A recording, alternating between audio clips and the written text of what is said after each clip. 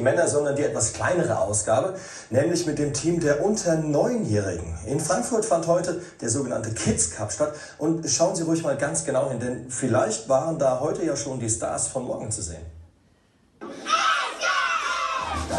SGE Eintracht Frankfurt wirbelt schon in der ganz kleinen Ausgabe.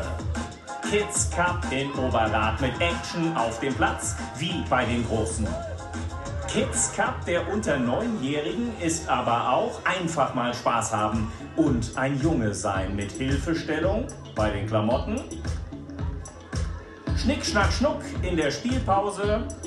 Bayer Leverkusen macht Faxen vor der Kamera und Dortmunds Erling Haaland Nachfolger haut sich noch eine Schokowaffel rein.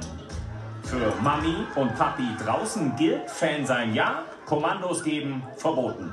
Das wollen wir äh, generell im Jugendfußball überhaupt nicht sehen, dass die Eltern zu viel mitbestimmen von draußen. Die sollen ihr Kind anfeuern, ja, äh, es trösten, wenn es verloren hat, mit ihm jubeln, wenn es gewonnen hat und anderweitig einfach mal in Ruhe lassen. Im Viertelfinale trifft die Eintracht auf Mönchengladbach. Achtung, Freistoß Frankfurt. Nummer 8 steht bereit. Dann kommt Liam, sagt Stopp, okay, mach ich. Kurz die Lage checken und dann ab dafür. Was für ein Hammer. Obwohl, geht eigentlich ganz einfach. Ich habe halt in der Ecke geguckt. Aber es wollte doch erst ein Kollege von dir schießen. Warum hast du den dann weggeschickt? Weil der mir doch das gesagt hat, dass ich schießen soll. Und der Trainer hat es auch gesagt. Und nochmal, das Ding hat gute Chancen beim Tor des Monats.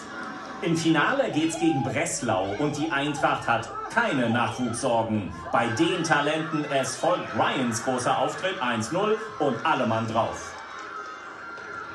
Dann das 2-0, wieder alle auf Ryan.